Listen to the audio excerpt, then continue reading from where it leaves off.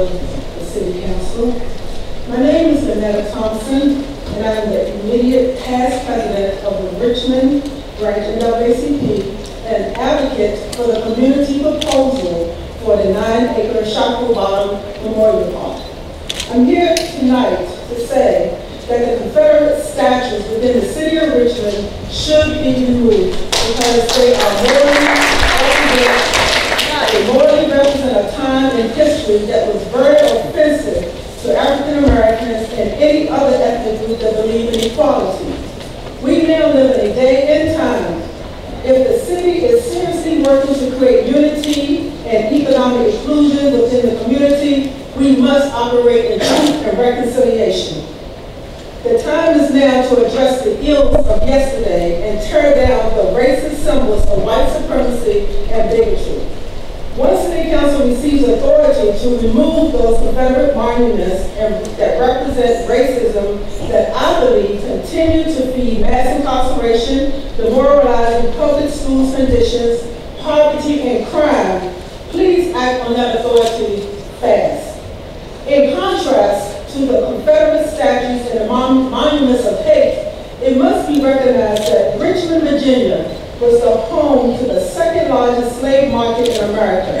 More than that, it was the epicenter of the domestic slave trade in this country. Black people's history cannot be changed, nor should it be, but it should be truthfully told and depicted with facts. Today, we all have a more truthful and documentary history of this city and how this city has been built. It is very important that we move forward in telling the story of our city history and that a memorial park be built in the Bottom District that memorializes and illustrates the truth of history that has been left out of the lives of white supremacy and bigotry. Now, I appreciate the moment to speak, and I will be back if when the resolution paper is presented. But I would also like to announce that on October the 10th, we will hold a march for accountability starting at the Robert E. Lee statue on Monument Avenue, marching to the African burial ground in. And we are calling for taking down the Confederate statues and building the Shockoe Memorial Park, along with addressing all pressing needs of our community. And we invite you to join us. And I would also like to ask all that's in support of removing the statue, people please stand. And I'd like to say thank you. Thank you. Members of the council, Madam Vice President, um, I'm Marty Jewell, and uh, I first want to say uh, thank you to Councilman Michael Jones uh, for sponsoring this resolution that hopefully begins the process of removal and relocation of these statues from Monument Avenue. Secondly, the Richmond branch NAACP, the Richmond Crusade for Voters, have recently unanimously voted for the removal of these Confederate statues from public spaces.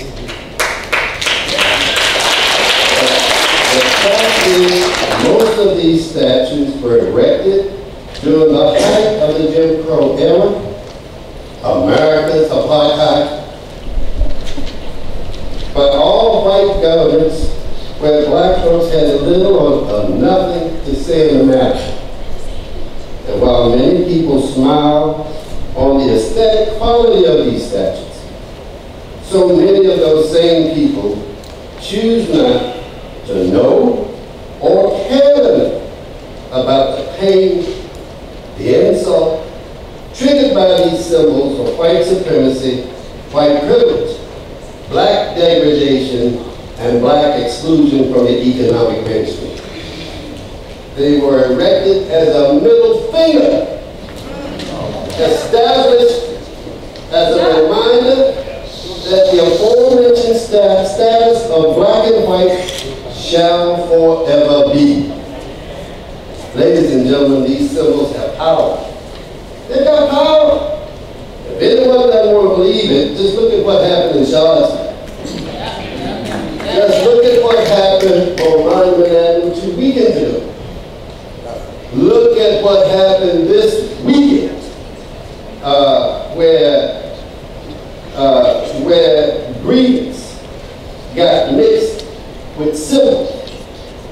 and, uh, and, and choice words. 1970s and 80s, we saw mass exodus of white people out of the city. Once black leadership was installed. The people who have come back, however, and we are rightfully repopulated, are not the same people who left. They're far more enlightened folks. I plead with you during this process or some other that we have a truth and reconciliation and not just keep harping about reconciliation without truth. It can't be.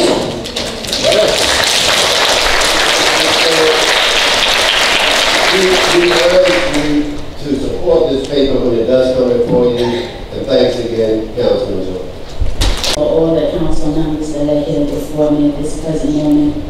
Um, I'm also here to speak on the bill to take down the statues, but I'm going to speak on a different perspective because I figure for the times that I've been here on and off, I've seen too many, um, of our, um, black history being either removed or taken away and no other kind of museum or anything of that nature going on.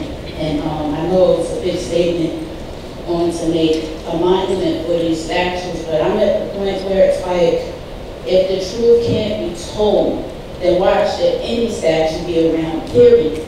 Because I'm like this, it's all about equality, and it's not just about a black thing or things like that, because in history itself, as I'm learning from my kids, as well as I'm learning on my own, that there are other races too, that not only did us wrong, but we've done others wrong as well. And as I say right now, um, I'm a native Charlottesvillian, and for me to have seen that, it was like, my innocent little city was taken from me, but at the same time, why, it's just crazy. I mean, we need to all dig it together, because at the same time, it's like, how can you sit here and say about black this, black this, when at the same time, we hear in neighborhoods of black that we're killing off each other. Come on, where is the unity here? This is about unity, and it's about equality.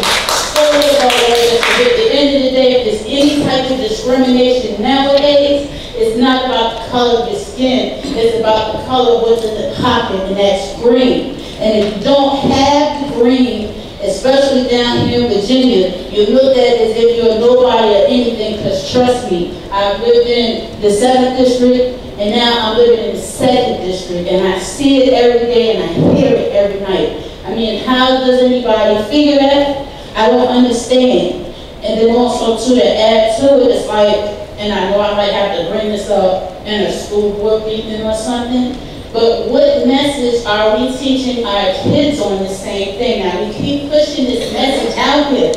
What are we teaching them? I mean, it's enough already, they're being confused of what they're learning as well as the schools aren't being taken care of, things like this. When is everybody gonna say, you know what, we need to band together, and we need to come together, and we need to put our priorities first. So I support this bill, thank you.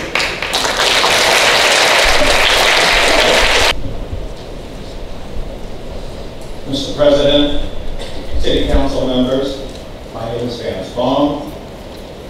Two leaders during the Civil War that could be considered controversial, William Tecumseh Sherman and Robert E. Lee. Lee because he was a slaveholder and led the Confederate Army that threatened our national unity. And Sherman because he introduced scorched earth war, total warfare that left many civilians in the South without homes and facing starvation. Our recovery from this terrible civil war has taken several generations and is still with us today.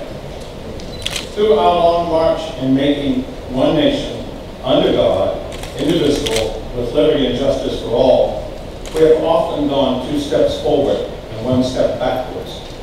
During this lengthy struggle, struggle to provide a more just society, we have had to find common ground that binds us, not settling for the easy route that further divides us. While holding this progress, while upholding this progress forward, we have to remind ourselves that in a democracy, unity comes not from agreement alone, but also from the right to disagree. Our acceptance of diversity means more than tolerance and acceptance of different religions, races, and genders. Diversity also means accepting our rights to disagree. When I was a student at a Quaker college, a professor during his lecture extended his fist to the point of my nose without touching me. He said, that is the limit of his freedom. So why do we erect monuments to these leaders? In New York City Central Park, we have a statue of General Sherman. In Richmond, we have a statue of General Lee on Monument Avenue. Both are displayed to the public on, on uh, government property. So why do we honor these two men that have such shadows on their reputation? Why do we bestow similar honors on President George Washington as father of our nation, Thomas Jefferson as author of our Declaration of Independence, who were both slaveholders?